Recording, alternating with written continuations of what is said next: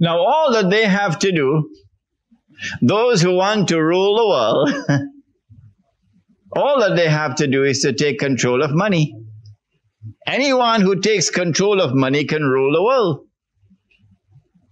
And you know that when the Messiah comes, the prophet Isaiah said that when the Messiah comes, he will rule the world.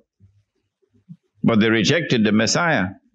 Say, when billah he's a bastard. And then they say, look, he died on the cross, so he couldn't be the Messiah. And then the prophet said that Allah will send into the world one who will impersonate the Messiah. Al-Masih dajjal In order for him to impersonate the Messiah, he will have to rule the world from Jerusalem. If you want to rule the world, you have to first rule the world of money. You cannot rule the world without taking control of money. In order to take control of money, the first thing that you do is to replace real money with paper money. The second thing that you do is you, you de-link paper from gold. Mm-hmm. And when paper no longer has any link with gold, you now start attacking the paper so it goes down and down and down and down. When the paper money goes down and down, there's number one, a massive transfer of wealth from the masses to that blood sucking predatory elite. The second thing that happens is that wages lose value because prices are going up.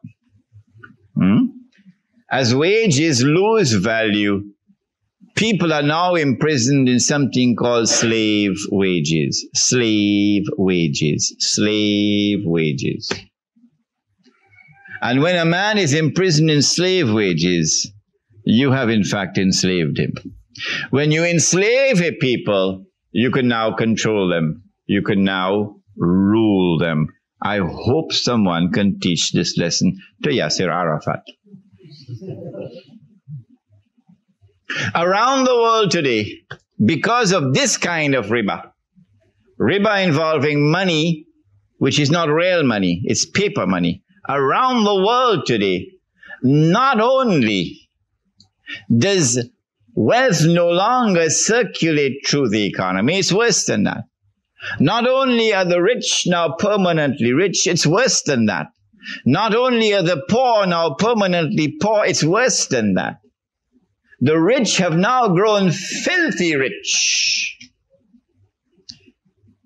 And the poor have now been reduced to miserable destitution, groveling destitution